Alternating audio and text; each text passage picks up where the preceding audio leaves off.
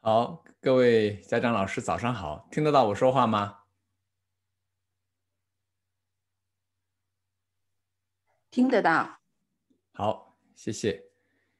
啊，欢迎大家参加我们今天的《论语》学习哈。我们还是一开始，啊，先一起诵读一下《先进篇》第十一。《先进篇》第十一，子曰：“先进于礼乐。”野人也，后进于礼乐，君子也。如用之，无从先进。子曰：“从我于陈蔡者，皆不及门也。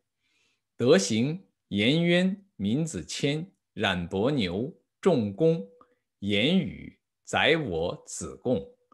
政事：冉有、记录。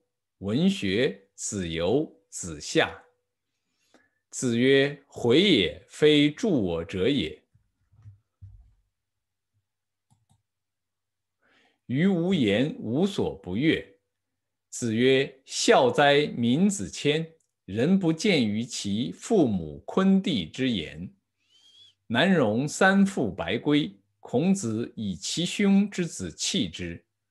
季康子问弟子孰为好学？孔子对曰。”有颜回者好学，不幸短命死矣。今也则无。颜渊死，颜路请子之车以为之果。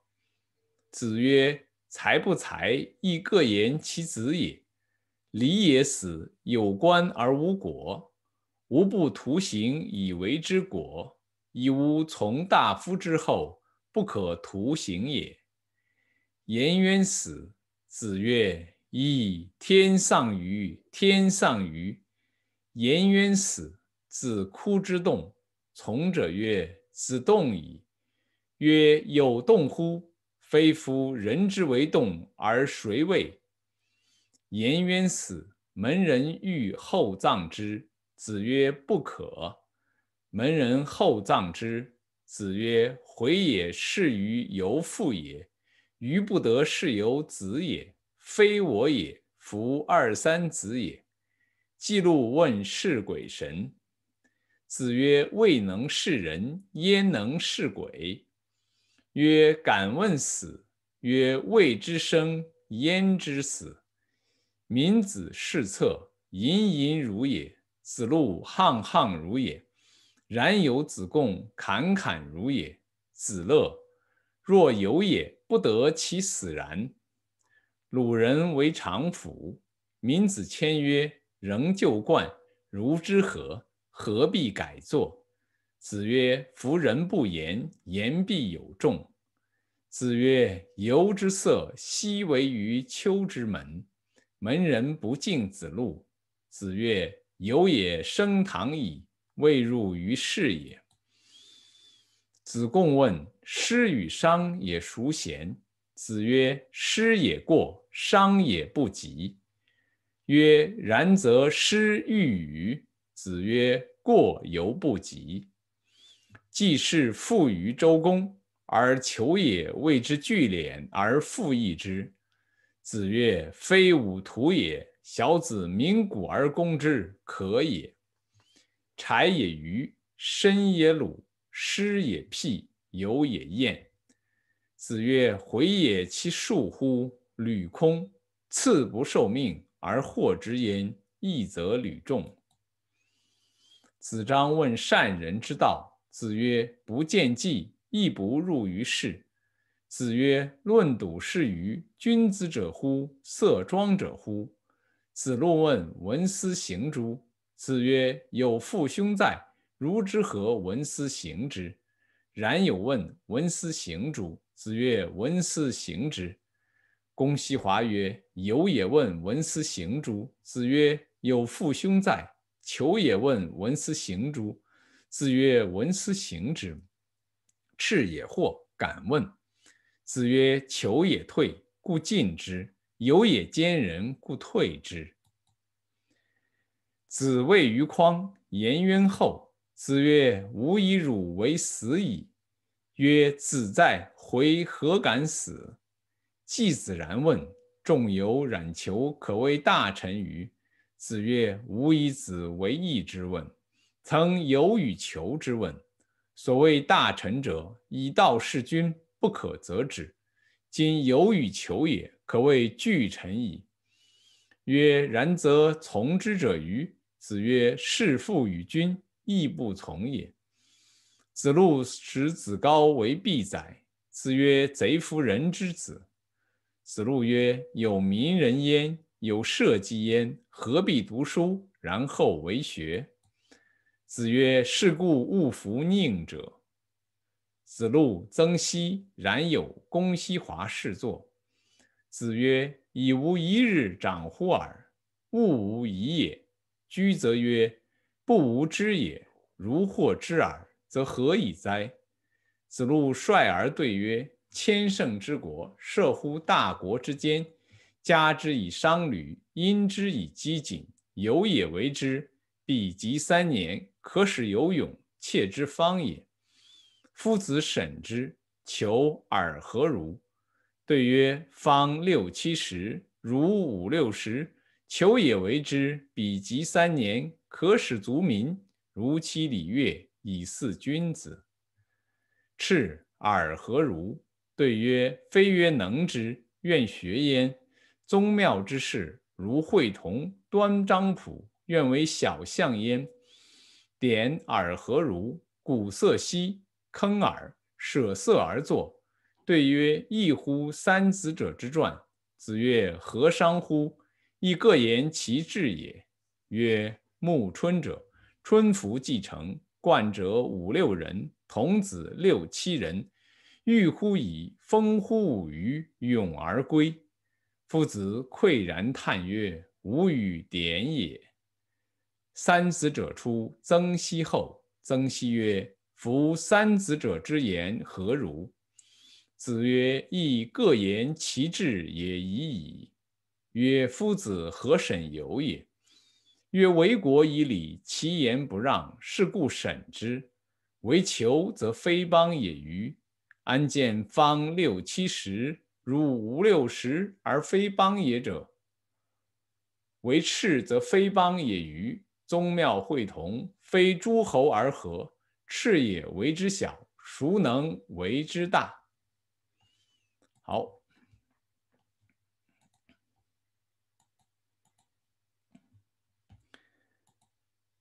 啊，读了很多遍《先进篇》第十一哈，现在感觉有一点熟悉了。就是基本上读的时候呢，读上句呢，大概马上就知道下一句应该读什么了啊。咱们这个一起学《论语》啊，这个诵读非常重要。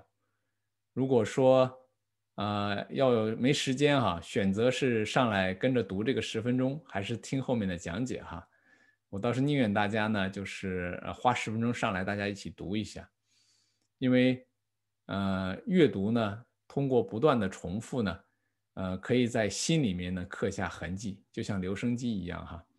如果只是不阅读，只是呢就是听一下讲解的话，那就是浮光掠影啊，最后呢，其实心里面留不下什么东西。但如果两个能结合，那是最好的了哈。那咱们学《论语》呢，我自己觉得一个很重要的呢，就是了解自己哈。那自己呢，是这个我们生活的这个中华民族中的一份子。所以呢，我们学习《论语》呢，其实从中间呢，就是探讨呢我们中华民族的一个独特的一个个性，或者说独特的一种精神。那这个个性精神呢，也是我们自己本本身哈，每一个个体所具有的哈。那因为呢，为什么要从《论语》中间来探讨呢？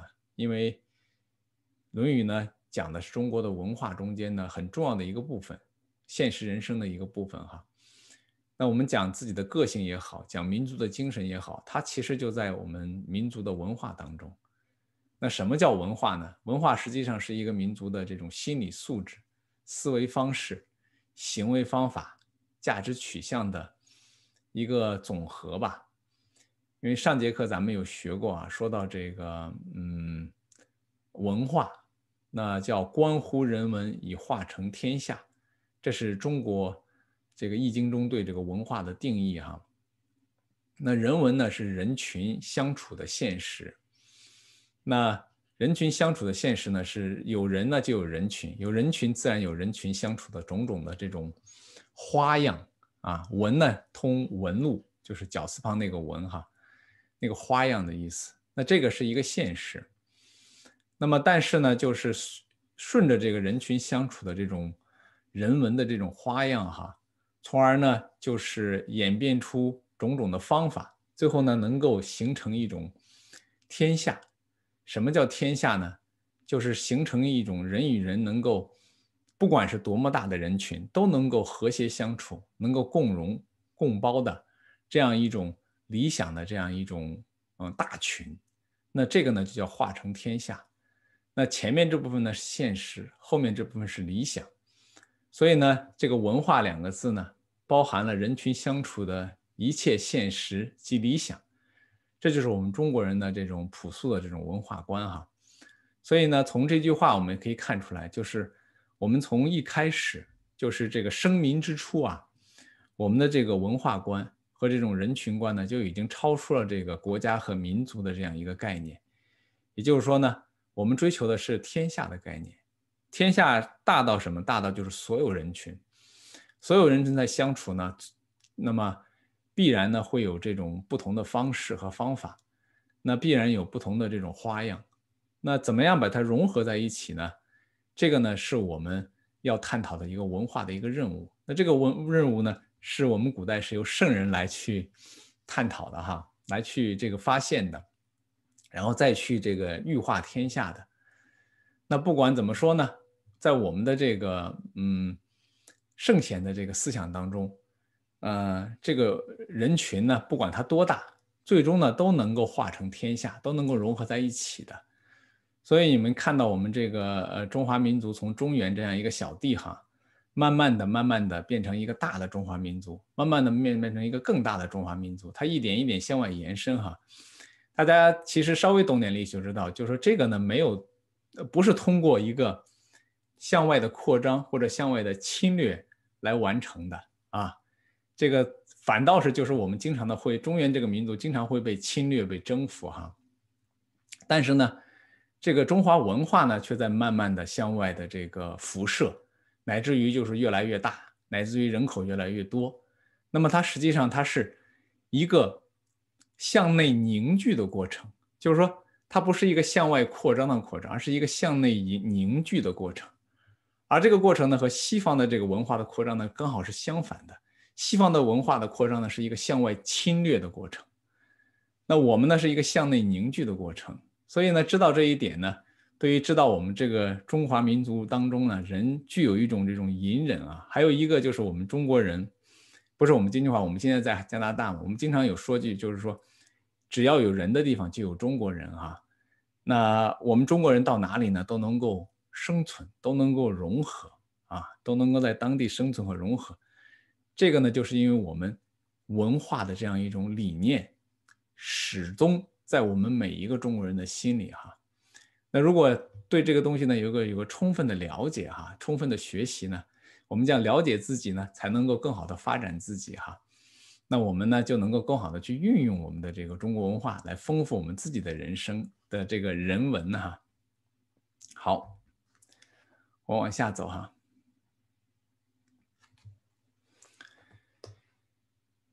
先进篇第十一啊，我们一起读一下啊。第十七章：柴也鱼，深也鲁，诗也辟，游也燕。从这一章下面呢，好几章呢都是关于弟子和弟子之间的这样一些内容哈。那从这些内容，我们可以深刻体会到，就是孔子呢，啊，他所主张的或者他所喜欢的，不是。标准化的一种，把弟子切成一个标准化的豆腐块儿。他所喜欢的就是每一个人都有他各自不同的性情。那么我们呢，就是要依照他各自的性情，让他往前发展，让他能够这个这个依最后能够依于大道，成于大道啊。那孔子呢，对自己的弟子做了几个评价，这里面是其中四个弟子哈，一个是叫做柴。柴呢就是叫呃高柴，他叫子高，字子高。那子高这个人呢，他的这个性格呢是比较矮板，比较愚愚就是愚直，比较矮板，比较直的意思。但是呢，这个在这个背后呢，是子高这个人的人品，人品非常好。那这个子高这个历史背景交代一下啊，子高是孔门七十二贤之一哈，而且是比较特殊的一个人。据说他活了一百二十八岁啊，这是传说哈，活的时间最长的一个人。那另外一个呢，就是子高这个人呢，为人呢特别的好，叫做足不履影，起折不杀，方长不折，执亲之丧，气血三年，未尝未尝见齿。这个是什么意思呢？就是他呢，啊，有一颗爱心，啊，第一第一部分讲他有个爱心，这个爱心做到什么程度呢？走路呢不踩别人的影子。啊，我们讲影子无所谓哈，啊，好像跟这个别人也没什么关系。可是呢，他连别人的影子都不踩，起折不杀啊。刚刚这个，嗯，这个春天出来的这些虫子呢，他是绝对不去这个杀害它们的。方长不折，刚刚长出来的这个幼这个幼枝啊，这个树上那个幼枝啊，这个细嫩的这个树枝，他也绝对不会去折它的。这就表现了这个子高这个人呢，他有一颗纯真的爱心哈。那执亲之丧，气血三年，未尝见齿，是反映这个人呢，他在学习这个孝道的时候啊，他学到的东西呢，他是真真实实用在自己的身上啊。这点呢，做到是非常难的。就是当亲人啊，自己的亲人去世的时候呢，自己为了怀念亲人呢，在这三年当中，守孝三年当中呢，就是。无声的哭泣，就心中呢常怀一种悲戚，气血并不是真正是把血这个哭泣出来啊，指的是没有声音啊，没有声音。这三年当中啊，然后未尝见齿，因为呢给亲人守丧的时候呢，啊不能够太过欢愉，那不能够太过欢愉呢，在礼上呢要做到什么一个程度呢？就是当我很高兴我笑的时候呢，也呢有所节制，牙齿不露出来。那这个呢是非常非常难行的哈，就是理论上容易学习，但是真要行呢是非常难行的。那子高呢是确确实实做做到了哈。那子高呢，同时呢，他也是孔子的学生当中呢做官时间最长的。他曾经四次在鲁国和魏国当官，做过很多的这种实际的这种行政管理工作哈，口碑都是非常的好啊。那孔子呢，对他也是非常的欣赏。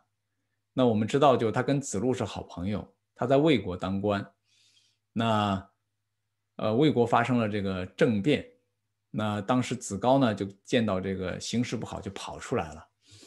那子路呢，呃，碰到了子路，劝子路呢，就是说我们赶紧逃跑。可是子路不听，子路呢还是跑回去了。跑回去了之后呢，那个最后呢被。这个在战斗中死，呃，就是战死了哈。那有这么一个故事，呃，我们我记着跟大家讲过，魏国发生政变的时候，当时孔子有一个判断，他说子高呢一定会平安回来，因为子高这个人平常呢就很谨慎啊。那么子路呢可能会不免于难，因为子路这个人太刚猛哈。那我们讲这个，这这这里面这个鱼哈，并不是说说子高太笨了哈，实际上是他呢。这个语里面有一个很重要一点，就是子高呢，他跟着孔子学习啊，他学到每一点呢，他就认认真真去执行，绝对呢不会就是打半分的折扣啊。那尤其是在这个礼的学习上，刚才讲到这个“气死三年，未尝见齿”啊，实际上呢，孔子呢是非常欣赏鱼这样一种品质呢，因为鱼这样的一种品质呢，它实际上里面含着一个什么品质呢？就是很淳朴的这种去。执行一件事情，听到一个道理，去认认真真执行，去在身自己身上践行的这样一种特色哈。那申也鲁，那这个是指指曾参。说曾参这个人呢，有点鲁钝啊。鲁钝的意思就是什么呢？他学东西呢比别人要慢啊，就是有点迟钝啊，包括说话哈，好像都比有点慢。我们在这个嗯。那个自己同学在一起学习的时候，我们可能会经常见到这样的人，这个人好像理解东西总比别人慢半拍，啊，那如果这个鲁钝呢，这个人呢不好好学习，或者学习又不是很勤奋的话，那么他往往呢就是成绩比较落后的这样的人。但是反过来说呢，如果这个人呢比较鲁钝，但是呢能够持之以恒的坚持学习，反而呢他学得下来的东西呢是非常的扎实。为什么这么说呢？是因为人有的时候呢他很聪明啊，思维敏捷，往往呢就是很多东西一讲，他觉得自己就懂了啊，也掌握了啊。老师去问他问题，他也能够对答如流。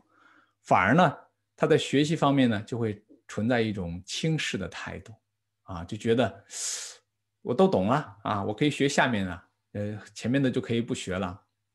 那最后呢，他这个基础呢打的呢不如这个鲁钝的人扎实，反而呢在往上走的时候呢就有困难了啊。所以我们讲这个，在那个博士啊、教授啊，大家会注意哈，像这尤其是这种人当中，你会你会注意观察一下，鲁钝的人比较多。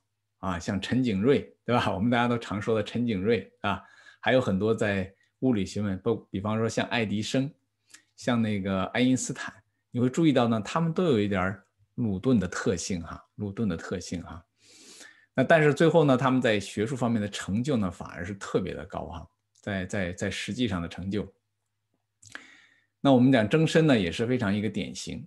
曾参呢，因为自己呢性格比较鲁钝，跟他的父亲刚好相反。他的父亲是非常洒脱的一个人，很聪明。那但是呢，因为这一点呢，他跟着父子学习的时候呢，是亦步亦趋啊，吾日三省吾身，对吧？这是曾子自己说的，对吧？为人谋而不忠乎？啊，与朋友交而不信乎？传不习乎？这是老师教他的啊，就是说你每天都要想这三件事情。那曾参呢，就认认真真的就把这三件事情写下来啊，就天天去反省自己。那我们知道，在清朝的时候，曾国藩也是这么一个人物。曾国藩呢，其实呢，小时候呢表现很聪明，可是呢，这个这个这个科举呢，其实也是考得很艰辛。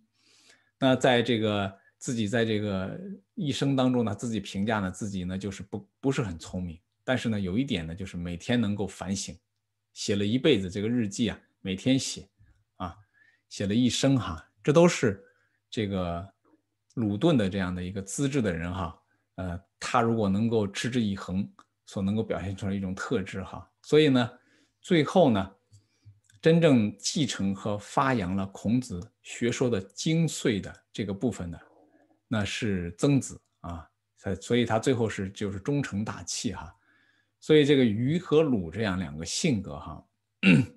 其实是我们现在呢经常忽略的。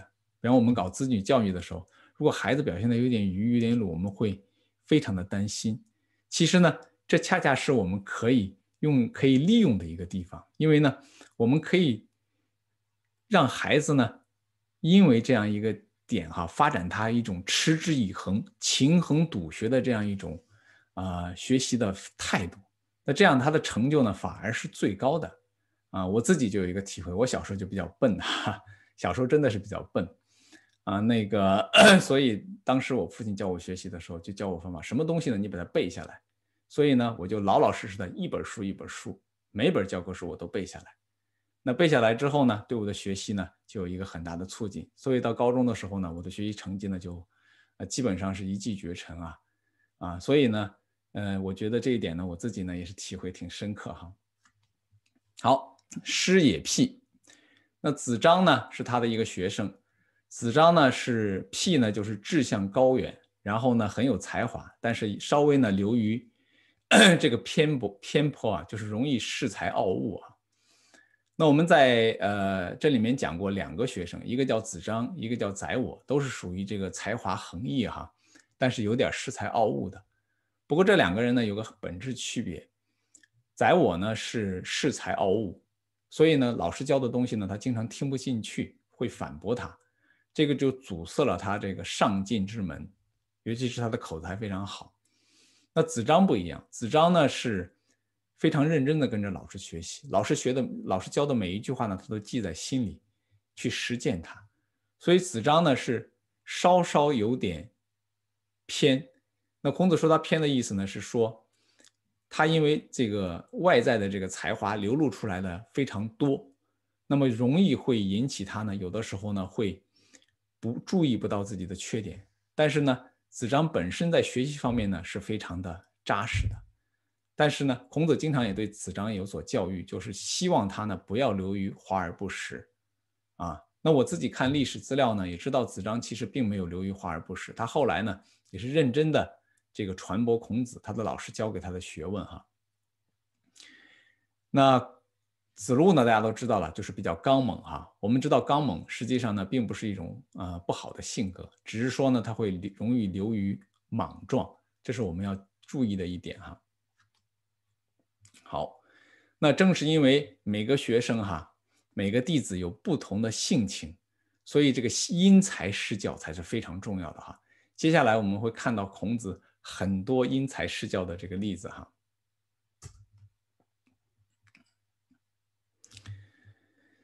子曰：“回也其恕乎？履空，次不受命而获执焉，义则履众。”这是说两另外两个学生啊，一个是颜回，一个是子贡。孔子说呢，颜回呢也差不多尽道了，这个大家都知道啊。呃，孔子最欣赏的弟子就是颜回，只是生活呢常处于空乏啊。颜回的生活是比较穷困的。子贡呢不受命而获之焉，就是不接受公家的命令。那个时候呢，那个做生意呢，实际上是呃要政府这边要呃给予一些呃类似于像审批之类的哈。那子贡呢是自己没有接受公家的命令就做生意哈，经商。那我们知道子贡经商是非常成功的，以至于在《史记》当中那个《货殖列传》里头呢，啊，子贡呢是在里面列出来啊。据说他的这个财富呢富可敌国啊，然后去任何一个国家都是大受欢迎啊，国君要亲自出来扫地来迎接他哈。那这是一种尊重的礼节哈。说呢不受公家命令经商。那么他呢是一个天才，经商天才，所以猜测物价呢总是很准，啊，这是一种说法。那另外一种解释呢，啊，因为古文嘛，那个历史情况我们不了解，所以后面有不同的，经常有不同的这个对这个这句话的一个嗯解读。那另外一个解读呢，是从这个上一句这个其他弟子这边评价过来的，那是说呢，颜回呢也差不多尽道了。但是这个吕空呢，是解解释成呢，他尽道的原因是因为他的心呢常虚而不累，就是处于这种虚心的状态，不为外物所累，所以呢，这个呢已经非常接近于中道了。所以呢，这个履空解释为呢，呃，常虚而不累，居于中道。那还有一种呢，就是呃，解释我就不在这里不说了，因为很多种啊，太复杂，我们取这两种。比较常见的这种解读方法，那对于子贡的这个解读呢，也不太一样。那他说呢，子贡呢不受命呢，是说不受天命，不接受天命的意思就是，其实就是老师教给他的这个，要他去在这个学问上这个进展的话，他最终呢还是选择了这个经营这个商业哈，不受天命而经营商业啊，来获取利润。那么但是呢？子贡呢，他呢，实际上呢，就是在经商当中呢，他的头脑很清醒，不为财富所迷啊。所以呢，他在这个老师教给他的这个道理的时候呢，他在学习这个道理的时候呢，他的这个悟性很高，经常能够这个体悟到啊，自己的这种言行呢，也能够合于这个大道。但是因为呢，他被这个这个自己的这个外在的这个追求呢所牵绊哈。所以呢，他在这方面呢总是不能够继续，也就是他体悟到了，但是他没办法，就是说能够继续的像颜回一样呢，能够在这方面呢能够呃自己去实践啊。这是两种解读的方法，那大家都可以从呃哪一种方法都可以呃思，就是从这个方向呢，大家可以给一点思考哈。好，接下来我们继续学习。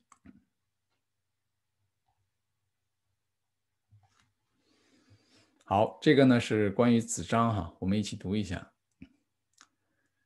子张问善人之道，子曰：“不见计，亦不入于事。”那他的弟子子张呢？嗯，问老师，这个善人，善人呢，实际上是指的是善于乐于做善事的人，就是做好事的人。就我们说呢，经常做好事的这种善良的人哈。那一般来说，我们称他为善人，是指他这个这个人的这个很智才智非常美。为什么呢？因为他有一颗经常做好事、经常帮助别人的这样一种心和这样一种行为哈。但是呢，他不是那个孔子所说的君子，也不是孔子所说的贤人。那孔子呢，那个于是他的弟子呢，这个子张呢就问他说：“这个善人呢，呃，往上走，往前走这样的一个路径啊，继续提高自己这样一个路是什么样一个路呢？”那因为孔子呢是觉得，就是说你要做圣贤的话，应该在学习做一个善人。但是呢，仅仅是善人还是不够的，要继续往前学习。那孔子就说呢：“不见计，亦不入于世。”那孔子的意思就是说呢，你要跟着前人学习。那跟着前人学习呢，就是孔子自己说的“述而不作，信而好果”，就是跟古代的圣贤来学习。那这个学习呢，就是。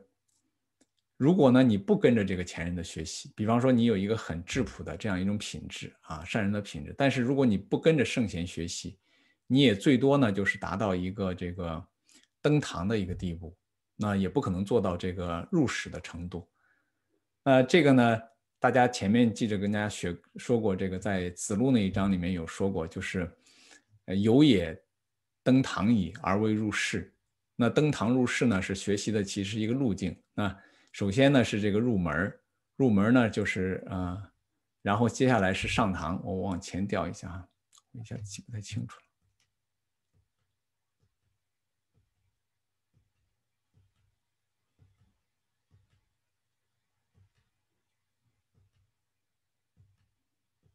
啊，应该是在这儿。对，我们讲学习呢有入门、上阶、登堂、入室等阶段。是由浅入深哈，所以升堂其实已经很不容易了。也就是说，做一个这样的善人已经很不容易了。但是呢，还没入于世哈。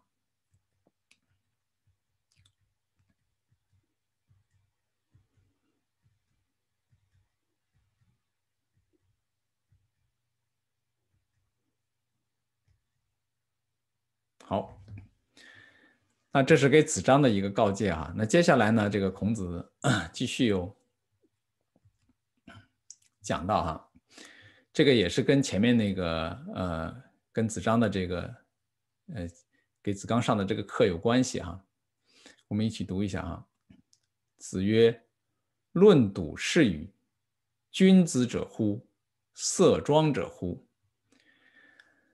那这里面讲到啊，就是说我们怎么样去判断一个人的是不是君子呢？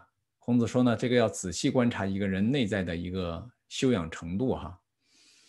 那他说呢，举了一个例子。他说一个人呢，他说话呢很笃实。我们讲笃实的意思呢，就是这个人说话呢，第一呢很有道理，就说话都在这个道理上。第二个呢，这个人说话呢很实在，不浮夸。那从这一点呢，其实可以已经判断出这个人呢是一个素质很高的一个人呢。但是不是说呢，我们就从这个呢就能决判断决定这个人呢就是君子呢？不一定。那其实孔子对于君子啊，谁是不是君子呢？要求是非常非常高的哈。那孔子说呢，要通过各个方面来判断。所以说呢，孔子在这里面说呢，就是如果呢一个人呢只是言论笃实，言论啊，那孔子对这个言论是特别谨慎的，你就称许他是一个君子呢？他说那个太太这个轻率了。你哪知道他是一个君子呢？还是只是说呢他在容貌上？那么庄严，就也就是说，他的言论也许呢是训练出来的啊，也许是训练出来的，所以呢，要从各个方面观察。我们知道呢，孔子呢，呃，谈到这个人呢，谈到君子呢，非常慎重啊，他有很多的这个标准。比方说他在讲那个君子的时候，说到那个鲁国那个魏国，嗯，郑国的资产，啊，资产是君子。那君子之道四，他从四个方面来观察。第一个叫其行己也公啊，自己呢对自己的要求呢非常的严谨，其行己也公啊，任何东西呢这些道上亲身实践啊，严谨谨慎，亲身实践。其事上也敬啊，他作为一个大臣，对自己的这个国君上面的这些人呢，非常的尊敬，这是做了尽了君臣之道。其养民也惠，那对老百姓呢是非常有爱心，做任何事情呢都是为了使老百姓能够得到恩惠。其使民也义啊，使用别人的时候，使用老百姓的时候呢，非常合时宜，绝不会滥用。那你看，从四个方面，从他为人，从他对待他的这个领导，从他对待他下面的人，啊，这样一颗心和这样一个方法。这四个方面，那么才得出 资产是一个君子啊。所以君子呢，这个方面呢，我们观察一个人是不是君子呢，要从他的这个言行啊，还有他做的这个事情所呃产生的这个结果这些方面呢，去做一个完整的观察，最后才能够去得出一个结论：这个人呢，是不是一个君子哈？好，我们再学一章。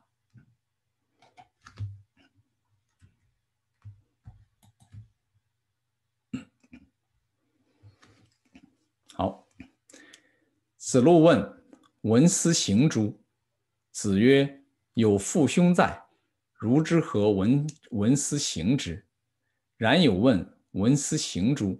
子曰：“文思行之。”公西华曰：“有也问：文思行诸？”子曰：“有父兄在。”求也问：文思行诸？子曰：“文思行之。”赤也惑，敢问。子曰：“求也退，故进之；有也兼人，故退之。”有个字打错了。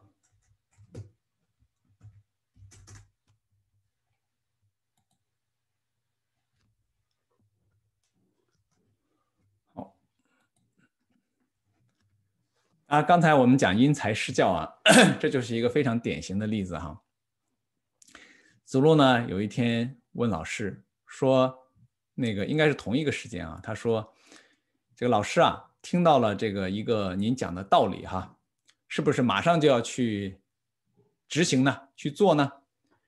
孔子说：“那不行。”他说呢：“呃，我们在家里哈啊，任何事情呢，我们都要请示自己的这个父母，这是第一条。第二点呢，就是还有这个兄兄长。”自己的兄长呢，自己也要去请示，那要跟他们商量，商量完了之后呢，才能够去做这件事情。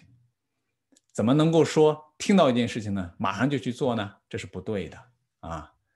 那我们讲，就比方说我们讲这个，呃，过去哈有一个礼，父兄在呢，不须有一死，不有私财。什么意思呢？就是如果有父兄在的时候，你不能随便抛弃你的生命啊，不能够就是说存私财。我们知道历史上也有这个例子，比方说那个，如果要是父母还健在的时候，就打仗的时候呢，不要当这个冲在最前线的这样这样的勇士，因为呢，你要考虑到呢，你的生命是很重要的，要为自己的父母要保留自己的生命啊，要更谨慎。所以呢，孔子就用这句话来教育他啊，你一件事情要做之前呢，一定要先跟父兄商量一下，请示一下再去做。然后呢，子路离开了之后呢。冉有呢，哎，进来又问了同样一个问题。他说：“老师啊，这个是不是我们听到一个道理就要马上去做呢？”孔子说：“那当然了，马上去做，一一一秒钟犹豫都不能有。”然后呢，这个正好公西华呢在旁边陪着孔子。我们知道孔子呢平常呢身边都有一个侍者哈，有时候两个侍者或者三个侍者照顾孔子的旁边的一些这种端茶倒水哈。那今天正好是公西华，当然了。能做这个侍者呢，是非常了不起的哈。如果说我在孔子那个年代，我巴不得天天站在孔子旁边给他端茶啊，给他扇扇扇子啊，因为这个学习的机会太多了，这一直在学习啊，一边端茶一边扇扇子，一边就听到这个各种各样的这个对话啊，不断的学习哈，还可以提问题啊。所以这个位置在当时一定是抢着坐的哈。那龚西华就去问这个老师，他说：“刚才听了您跟呃两个师兄的对话哈，我有点问题哈。”他说：“这个子路问呢，听到一个道理要不要马上去做？您说呢？不行，你得先问过你的父亲和兄长，啊，不能够马上去做。问完了之后商量完之后才去做。”他说：“这个冉求问呢，这个有听到一个道理，是不是要马上去做呢？你说，哎呦，马上去做啊，不能够这个有一秒钟的犹豫。”我就有点糊涂了，您这说话前后矛盾啊！你老师说话怎么能够前后矛盾呢？啊，一个道理写在这个上头啊，听到一个道理就要执行啊，这句话不是您说的吗？您怎么对不同的学生呢讲完全矛盾的话呢？那孔子就跟他说了，说啊，教育啊，啊，一个人呢一定要因材施教啊，要根据他的性格。去纠正他，使他合于中道，中道呢才是真正对的一个道路。那比方说像这个冉求啊，他的一个性格的特点是什么呢？他做事情呢就是瞻前顾后，思前想后，尤其是在这个个人修养方面，总是觉得自己呢好像做不到，而作为借口不去做。所以这个时候呢，你一定要去推他。要他有这个勇气，有这个动力，有这个激情，马上去做啊。那子路呢是刚好相反，子路呢在学习的道理啊，去执行方面呢是一点问题都没有的啊。子路闻过则喜啊，子路这个听到一句道理呢，如果没有马上去做，都不愿意听到下一个道理。但是呢，这个呢也不是中道。啊，有点过了，过在什么地方呢？这个呢，这个东西道理呢，要反反复复思考啊，成熟。另外呢，还需要跟别人去商量，听取不同人的意见之后呢，再去做。这样的话，这个呢，才呢，就是能够把自己的这个鲁莽的这个性格、急躁的这个性格呢，能够往回拉，拉回来之后呢，再去做呢，就刚好呢，就不会过头。啊，所以呢，孔子呢，就是要告诫这个子路呢，你一定要把自己这个勇猛精进中间这个鲁莽的这个部分要拉回来啊。所以孔子呢，就是跟他说呢，说这两个呢，我用不同的方法呢，其实呢都是对的。对的什么呢？就是要把他们拉在这个中道上，让他们合于中道哈。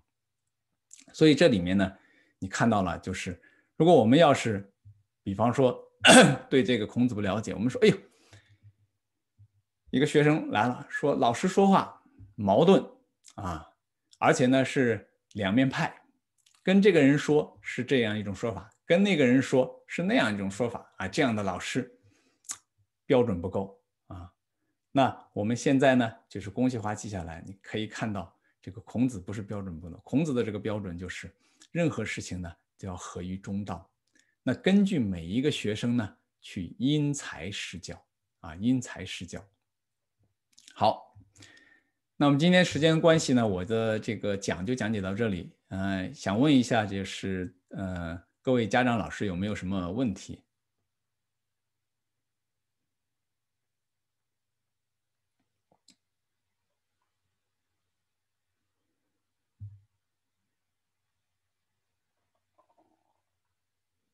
好，如果要是大家都没有问题的话，那我们还是一样啊。我们，嗯，我之前说过哈，就是我看后来有一些上来的比较晚的哈，呃，希望大家呢能够参加这个十点钟准时开始，我们一起读啊。因为我觉得读呢，共同诵读呢，比听我的讲解更重要哈。如果要是时间不够的话，我宁愿大家呢，嗯，头十分钟一起读啊，可以忽略掉我的讲解啊，也不愿大家呢就是。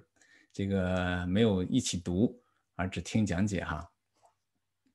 好，那我们呃下午呢还有呃了凡四训的学习，如果大家有时间的话，欢迎大家那个继续参参与学习啊。如果没有的话，如果呃没有时间也没有关系，我们下周呢继续进行我们的《论语》学习。那今天呢是呃，应该是明天吧？明天是端午节，所以在这里呢，也祝各位家长和老师端午节安康，周末愉快。好，谢谢大家。